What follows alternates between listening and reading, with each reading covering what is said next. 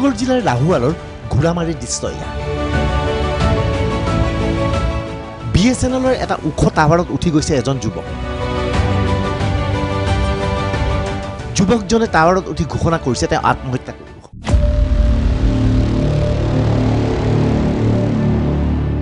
লগে লগে তলত হাহাকাৰ।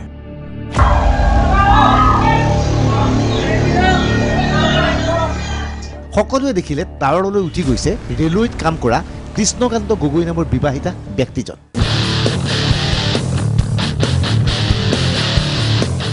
লগে লগে অগ্নি নিৰ্বাপক বাহিনী এছ ডি আৰক খবৰ দিয়া হ'ল। সকলো সাজু। বি এছ এন এল টাৱাৰৰ তলত বিশেষ ব্যৱস্থা কৰা হ'ল। ওপৰৰ পৰা কৃষ্ণকান্তই জঁপিয়াই পৰিলে যাতে কোনো ধৰণৰ ক্ষতি নহয় তাৰ বাবে বিশেষ ব্যৱস্থা গ্ৰহণ কৰিলে প্ৰশাসন। কিন্তু কৃষ্ণকান্ত ওপৰৰ পৰা নামি নাহে। তলৰ পৰা ৰাইজৰ কাটৰ অনুৰোধ। কৃষ্ণকান্ত নামি আহিব লাগে। কিন্তু কৃষ্ণকান্তই নানামে। বি এছ এন এলৰ টাৱাৰত কৃষ্ণকান্ত গগৈ। প্ৰেমত আঘাত পাইছে কৃষ্ণকান্তই। সেয়েহে আত্মহত্যাৰ চেষ্টা চলাইছে লাহোৱালৰ এই যুৱকজন।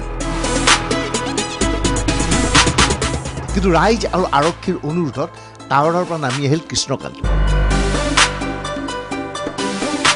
এয়া লাহে লাহে ওপৰৰ পৰা নামি আহিছে কৃষ্ণকান্ত। এটা সময়ত কৃষ্ণকান্তই মাটিত ভৰি দিলে। চৌদিশৰ পৰা মানুহে তেওঁক আৱৰি ধৰিলে। কোনোবাই মৰম কৰিছে কোনোবাই চকীত বহিব দিছে ইত্যাদি ইত্যাদি। কিন্তু প্ৰশ্ন হ'ল কৃষ্ণকান্তই টাৱাৰলৈ উঠি গৈ আত্মহত্যা কৰিব খুজিছিল কিয়?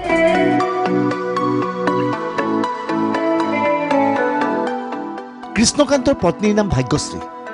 কৃষ্ণকান্তৰ বন্ধু কৰণৰ বান্ধৱীৰ নামো ভাগ্যশ্ৰী।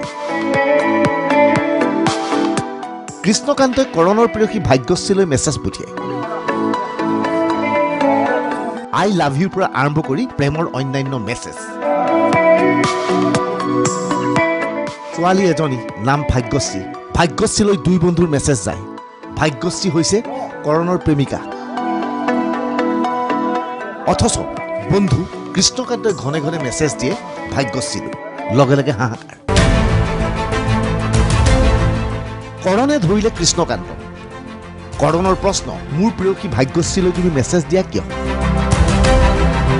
কৃষ্ণকান্তই ক'লে মই মেছেজ দিছিলোঁ মোৰ পত্নী ভাগ্যশ্ৰীলৈহে।